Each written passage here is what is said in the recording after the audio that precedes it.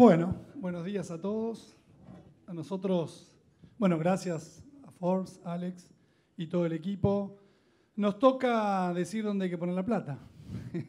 Así que la parte más fácil en, en este contexto de la Argentina actual. La verdad que hubo un panel de economía muy interesante que quiero también un poco llevar las opiniones a ese terreno. Pero antes me parece que lo más relevante o empezar, tampoco tenemos mucho tiempo, eh, es con el mundo. Porque un, un poco lo que pasó desde enero del 2018 en adelante, una especie de risk-off, o sea, mala onda en los mercados, no tanto en el S&P, pero sí mala onda en los mercados emergentes. Argentina lo sufrió de lleno, muchas veces el que tiene la vulnerabilidad es el que más sufre. Eh, y esa mala onda terminó en diciembre con el cambio de la Fed. Los datos siguen siendo malos. Cuando uno mira los datos económicos, comercio internacional, producción industrial, etcétera, etcétera, a nivel mundial, son malos. Pero hay una expectativa positiva, yo digo realidad versus expectativas, basada en esto, en este cambio, este giro en U que pegaron eh, los bancos centrales con la Reserva Federal y el de China a la cabeza. Entonces, en ese contexto, ¿qué podemos esperar en este año? ¿no? Risk on, risk off, nos aflojamos un poquito el cinturón de seguridad, pensándolos desde la óptica de un país emergente. Eh, así que, Pablo, por ahí, arrancar contigo ya que te veo con el micrófono preparado. ¿Cómo lo estás viendo? Bueno, antes que nada, eh, buen día, muchas gracias a Forbes por la invitación. Eh, la verdad que la pregunta no es intuitiva, digamos, no es fácil de saber qué es lo que va a pasar. Eh, déjame arrancar con que, digamos, creo que estando en Argentina, tal vez la mayor lección o la lección más grande ha sido un 2018 donde muchas de las carteras de argentinos, inversores, no importa de qué tipo, se han encontrado muy concentradas en riesgos y creo que la mayor, digamos, eh, lección a aprender es justamente ver de qué manera nosotros podemos eh, asesorar a empresas o a individuos considerando que tenemos la puerta abierta en el mundo para poder efectivamente eh, realizar o construir carteras bien diversificadas. A partir de ahí es donde, digamos, dada la coyuntura, tenemos que trazar una estrategia y nosotros particularmente somos moderadamente optimistas de las variables más allá de eh, digamos, que estamos en el pico del ciclo económico en el mundo, digamos, que los bancos centrales, como decías, hayan tomado nota de la necesidad de tal vez desacelerar esa política monetaria un poco más contractiva, eh, ya sea por el lado de la Fed, digamos, eh, a través de la hoja de balance, de cambiar la composición de la hoja de balance de la Fed o de los bancos centrales de, digamos, dejar para más adelante el aumento de la tasa de interés. Nosotros con los activos de riesgo somos moderadamente optimistas, creemos y consideramos que eh, tanto las corporaciones americanas con un crowding out un poco más liviano en Estados Unidos y digamos los estímulos de China para los países emergentes,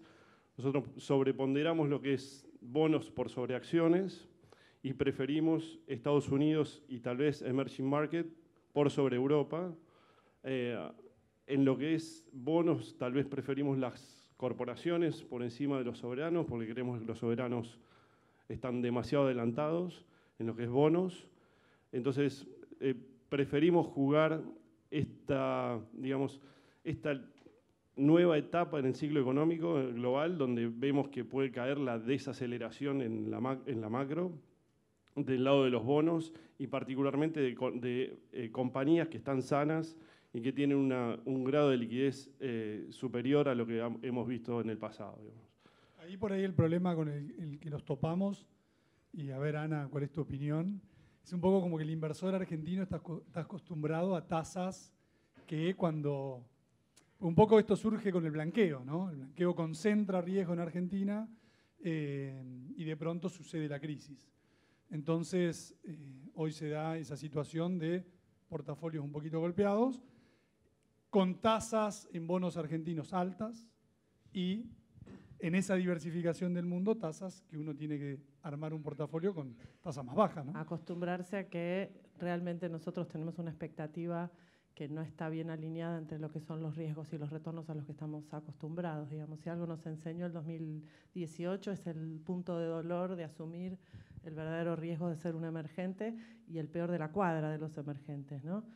Em, yo diría que coincido en casi todo. Te diría que me sacaste un poco las palabras de la boca porque yo soy más eh, renta fijista para el año que viene. Eh, me gustan los corporativos americanos.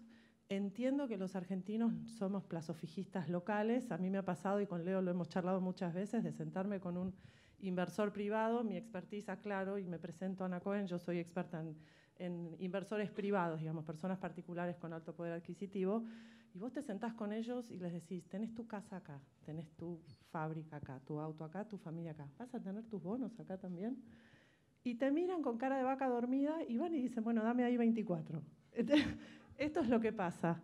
Em, lo que estamos viendo como tendencia es que si bien siguen, siguen siendo eh, bonistas argentinos en algún punto, eh, este tipo de inversores puntualmente están privilegiando otras estrategias. El, impacto post-blanqueo no es solo la crisis, es también la figura de la renta financiera. Ya los instrumentos con cupones tienen un impacto en, en las declaraciones juradas complicadas. Hay también una búsqueda en la globalización en la apertura de mercados que es una gran noticia para los argentinos. Hoy no tenemos por qué estar circunscriptos a las entidades financieras que nos asesoran acá y a custodiar acá. Hoy tenemos acceso a mercados de afuera. Hay productos de administración activa que queda el retorno encapsulado en eso, que hace que tiene el doble mérito de poder contratar gente que tenga el criterio y, y la mirada sobre Bloomberg o Reuters todos los días eh, y una administración activa y que los, la rentabilidad del portafolio quede encapsulada ahí. Los fondos son una, una alternativa eh, y, y diferimos los impuestos. Y es, creemos que hace todo el sentido del mundo empezar a desencillar hasta que aclare en términos de lo que son Escucho los próximos hablar mucho de impuestos, con lo cual es, pasó a ser finanzas más impuestas, ¿no? inversiones más sin impuestas. Duda, sin que en duda. todas partes del mundo era así, pero como en Argentina, al estar exento, siempre corría por otro carril.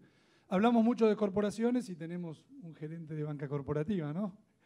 Así que estamos obligados a hablar con, Nicolás de, cómo están las, cómo ves vos a las empresas, porque muchas veces el riesgo soberano, por ejemplo en Argentina, eh, uno tiene alguna percepción, o hoy lo, miramos a través de los CDS, un CDS argentino a cinco años está, está próximo a descontar una probabilidad de default de 40%. Y por otro lado tenemos el, mundo corporativo, muchos bonos corporativos de empresas sanas, pero que se ven arrastrados. Sí, a ver, el, mercado corporativo, digamos, por, por, virtud o falta de virtud, los últimos 15 años está bastante desapalancado, sobre todo las empresas grandes, medianas, este, las que tienen bonos en los mercados. ¿no? Entonces son empresas muy sanas que si las sacamos de Argentina, tal vez la gran mayoría serían investment grade. ¿no? Eh, y eso un poco ahora se está viendo por, cómo son las curvas de, bonos de rendimiento de bonos en, en, Argentina, que varias empresas están cotizando en, en, términos de spread por debajo del soberano, un poco, digamos, eh, mostrando esta diferenciación que, que, vos bien decías, ¿no? La realidad es que así todo, cuando uno mira en términos absolutos, todavía son niveles de tasas muy altos y las empresas hoy por hoy, las necesidades de financiamiento o bien las tienen cubiertas o bien también, como todos acá, estarán esperando un poco qué pasa con, con el escenario político como para o aumentar CAPEX o hacer este, inversiones o compras, eh, lo que fuera, con lo cual tampoco hay una necesidad urgente de ir a los mercados a financiarse a tasas que por ahí uno podría esperar que en ciertos escenarios sean más bajas, no en el muy largo plazo. ¿no? Este, entonces, la verdad que tenemos la situación que es bien particular de Argentina, donde una vez más, como hace varios años atrás, el soberano está por encima de los corporativos, por lo menos los corporativos más grandes. ¿no? Es bueno, es bueno, pero igual todavía, digamos, todavía falta como para que se desempujona a que las empresas salgan al mercado. Un poco lo que dijo Eduardo Constantini, el, el empresario fue cauto y no se endeudó. Exactamente. Y ¿no? quedó atrapado en la dinámica del soberano, ¿no? Exactamente, y también hay otra, otra forma de financiamiento. Hemos visto últimamente mucho financiamiento de las multilaterales, de ECA, sobre todo para proyectos de infraestructura, que son las, los sectores más dinámicos en cuanto a financiamiento, por lo menos a, en montos grandes, es el sector de oil and gas, este, y el sector de, generación de, energía, ¿no? ya sea renovable o no. Y bueno, y eso siempre se benefician también de todo el esfuerzo de las multilaterales, eh, de vuelta las, agencias de, exportación de otros países, eh, bancos comerciales, los mercados hasta cuando estuvieron abiertos, con lo cual se ha completado bastante ese financiamiento y ahora, de vuelta, ¿no? todo el mundo esperando a ver qué pasa. Esperando las elecciones. El panel de economía, que me pareció la verdad muy, muy divertido, el, un poco el contraste entre Marina, eh, y acá voy a hacer una lectura personal, ¿no? detallando hechos concretos, y obviamente González Fraga en, un rol más desde el gobierno eh, pero casi que uno podría decir el bueno y el malo. Eh, así que desde el panel nosotros de, inversiones, eh, estoy obligado porque el público lo pide. ¿De qué lado nos ponemos? ¿no? ¿Del lado del bueno, del malo? ¿Estamos preocupados? Si tenemos que pensar hoy un portafolio de alguno de nosotros, argentino, ¿dónde sobrepondero? ¿Dónde subpondero? Tocó, sigamos, en el orden. Eh, si sigo en el orden. Yo iba a decir que no estuve en el panel, así que no voy a responder la pregunta porque llego un poco más tarde. Casi que me voy a poner en el medio, no, me voy a, no es necesario ponerse de un lado o del otro. Eh, nosotros hoy, en lo que es Argentina, digamos, eh, siempre vamos a jugar por la renta fija. Creemos que todavía el proceso electoral no está priceado en, las acciones, la volatilidad que está por delante, el equity creo que lo subpondera, lo, subvalora. Eh, em, nosotros a la hora de seleccionar activos de renta fija en Argentina, somos más de los que privilegiamos esa, esa, parte cauta de las empresas poco endeudadas, tal vez generadoras de sus propias divisas a la hora de repagar su deuda y con bajos índices de, endeudamiento. Eh, ahí hay empresas que tienen una historia sana para contar. Creemos que en torno de conseguir un construir un portafolio bien diversificado, eh, el riesgo se puede conocer un poco más estando acá y estamos privilegiando algunas, algunos nombres privados. Creemos que el soberano eh, casi indefectiblemente tiene muchos eh, desafíos por delante, independientemente de quién gane la elección. Entonces, para un portafolio, digamos, entre riesgo bajo y moderado, preferimos mirarlo de afuera en el corto plazo. El recuerdo del 2001 está presente, ¿no? Con corporaciones pagando o reestructurando en condiciones muy benignas para el acreedor eh, versus el soberano. Sí, bueno, ahí el, creo que muchos de los que estamos acá en 2001 no nos parece tan lejano, pero el carácter de, del emisor eh, muchas veces eh, está priceado dentro de lo que rinden los bonos. Y eso también es importante a la hora de seleccionar un activo en un portafolio, digamos. Sí, porque se dan eh, situaciones medias extrañas, como por ejemplo el caso de IPF. En el caso de IPF, cuando uno mira la experiencia de Petrobras, Petrobras es una empresa que sigue valiendo 150 mil millones de dólares, vale lo mismo que cuando la acción valía menos de 5 dólares. Entonces, ¿cómo hizo la, empresa para multiplicar por tres su valuación? Y hablo, de la empresa mirando toda su estructura de financiamiento. Accionista y deuda. Lo que hizo fue, después de un proceso muy interesante de cambio de management, empezar a generar un cash flow positivo y empezar a repagar la deuda. De casi 120 mil millones de dólares de deuda, la bajó a la mitad. Los accionistas son los que treparon en, en todo ese valor. Y tenemos el papel, bueno, ayer estaba rompiendo nuevos máximos arriba de 17. Y se da justo en este momento político tan delicado que IPF, después de un manejo muy bueno en estos tres años, algunos pueden criticar la política del precio de las naftas, etc., pero logra tener flujo de caja positivo y empezar a pagar la deuda, que fue el disparador que muchos recordamos de Petrobras. Pero claro, ahora qué problema tenemos? Que nos falta el, el tema político, ¿no? Paso, elecciones, segunda vuelta. Eh, etcétera, etcétera. Entonces, eh, en ese contexto, a veces hay, uno ve ¿no? muchos papeles o sectores que son atractivos, pero ahora falta lo que sobraba dos años atrás. A ver, sin, sin hablar inclusive de IPF, no, no, no, es, no, es, acerca de IPF, son procesos. Lo que vos contaste de Petrobras no fue en dos meses. ¿no? Eh, no fue en siete meses, cuatro años. Acá, si querés contar cuándo empezó la crisis actual, fue en mayo del año pasado, no pasó un año todavía.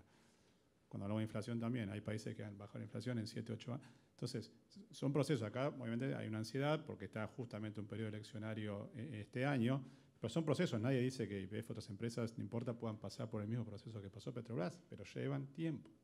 Llevan tiempo. Entonces, también hay que tener eso en cuenta cuando uno piensa y toma decisiones este, y hace, saca conclusiones. Digamos. Son procesos largos por naturaleza. Entonces, eso, eso acá a veces perdemos la perspectiva un poco cuando estamos en el día a día de que estas cosas, todo lleva tiempo mejorar y cambiar. Esa es la realidad. Ahí marcó claramente la, afiliación a Fraga, me parece. es una broma.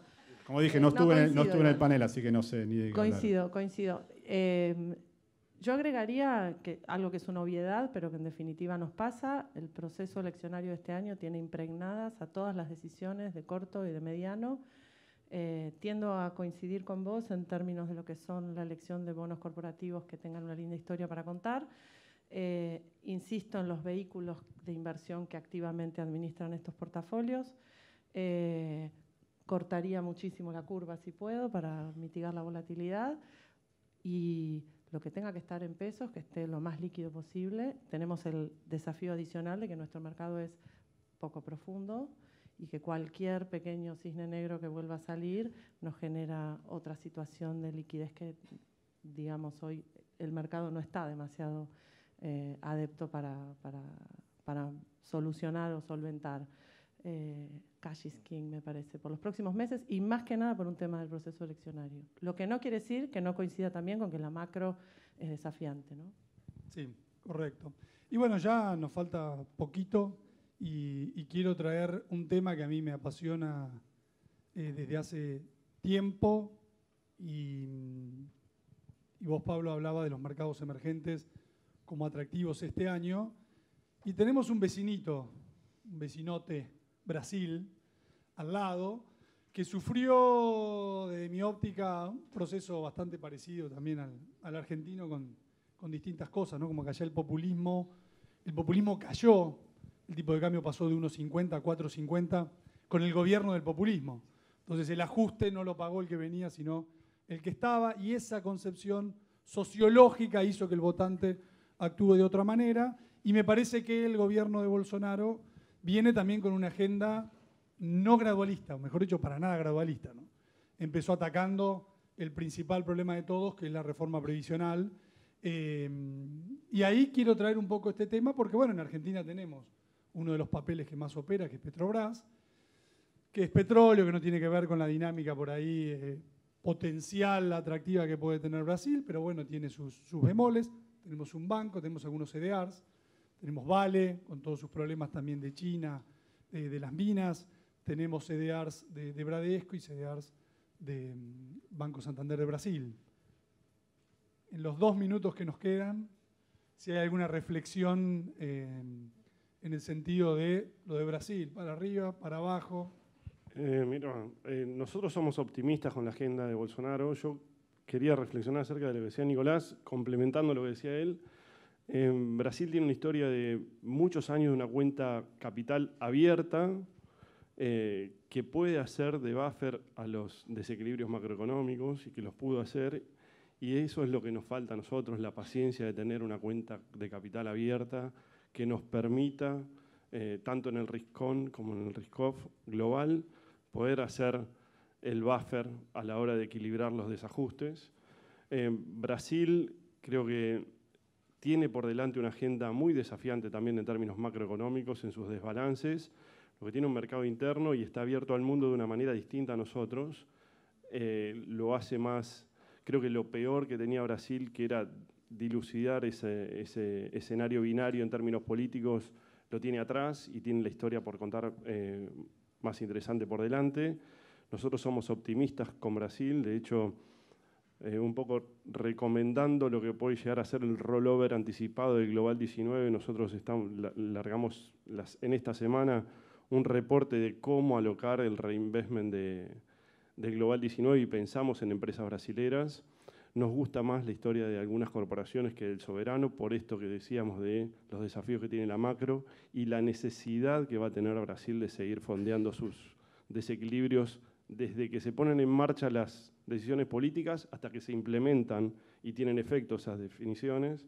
Entonces ahí eh, somos optimistas con Brasil eh, por el lado más de la renta fija, digamos. Y ahí en el, en el mundo de los fondos comunes, Ana, también está la posibilidad de fondos de, exposición a Mercosur, ¿no? Sí, hoy los fondos eh, comunes de inversión con oferta pública en la Argentina tienen acceso a, papeles eh, del Mercosur eh, puntualmente con, en, una proporción alta, que es una linda manera de diversificar en emergentes.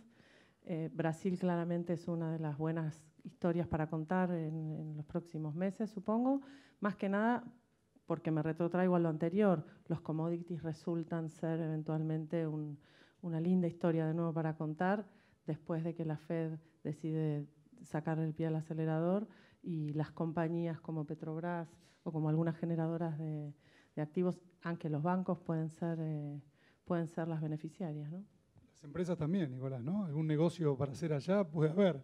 nosotros tenemos bastantes clientes que operan significativamente en Brasil, en otros países de la región también y evidentemente hoy por hoy el, el, motor del negocio de ellos está viniendo de, Brasil, que cuando fue el 2012-2013 les pegó también bastante con la devaluación. Parecería ser que hoy, por el lado económico, el gobierno de Bolsonaro las expectativas, ya lo vimos con el Vespa que cruzó los 100.000 los puntos, todavía eh, el mercado le está dando el, espacio y el changui para ver qué, qué pasa la reforma previsional y que, y que, y que empiece, digamos, de vuelta a, a, crecer el país, que es lo que a nosotros también como país nos vendría muy, muy bien, digamos, ¿no? Un poco como el mundo, ¿no? Realidad versus expectativas. Y al final, los inversores lo que hacemos es comprar expectativas, que después se tienen que transformar en realidad, y ahí es donde uno gana o pierde plata. Así que bueno, acá tenemos un cartel en rojo hermoso, eh, que nos dice que se nos terminó el tiempo. Les quiero agradecer a todos. Eh, bueno, y espero que las conclusiones, yo me llevo algunos, algunos títulos y algunas conclusiones que me parece que están claras, les hayan servido y ya les damos paso al siguiente panel. Gracias a todos.